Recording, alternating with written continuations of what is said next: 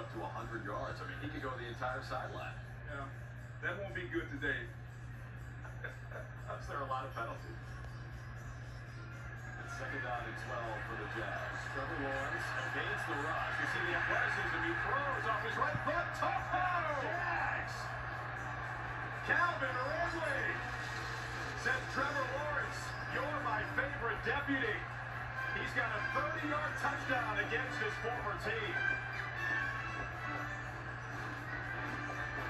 We've been waiting. When is he going to throw it to Calvin Ridley? He evades the rush, throws it up. Watch Calvin Ridley look the ball in with his hands, and therefore he can't drop the ball. Someone that had the dropsies, that made a couple of mistakes in previous games. That is the